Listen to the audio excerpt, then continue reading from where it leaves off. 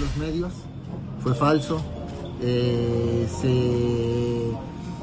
la fiscalía estaba en un operativo, le llega precisamente una llamada de alertamiento y entonces ellos van en atención, son los primeros respondientes en atención al hecho, los, los confrontan, este, más bien les disparan, no hubo ni siquiera confrontación, sino les disparan los presuntos responsables y chocan, lo que se vio ¿no? en la persecución, chocan contra un taxi, pasan a traer una moto y como iba atrás de ellos la camioneta de, los ministeriales, también impactan a la, a la camioneta de los presuntos responsables, pero se da la detención.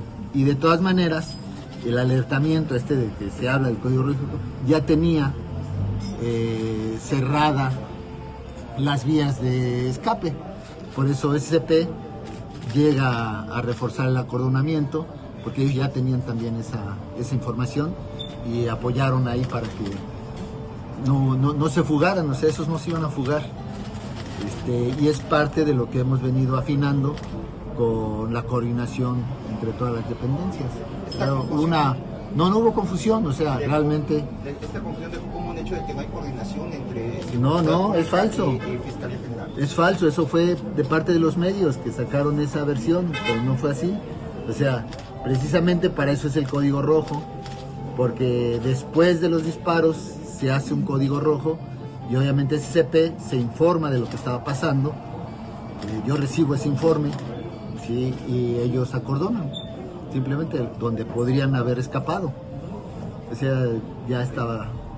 Entonces inicialmente es un operativo de fiscalía. Es un operativo de fiscalía, estaban en un operativo, reciben este alertamiento eh, mediante las llamadas que se hacen a fiscalía y ellos son los primeros en atenderlo. Sí, y entonces en esa atención, pues a los que les disparan son a ellos, eh, se hace la persecución y logran la detención de las dos personas. ¿Eh? No, ni heridos, nada, simplemente los daños materiales que las aseguradoras pues tendrán que, atender.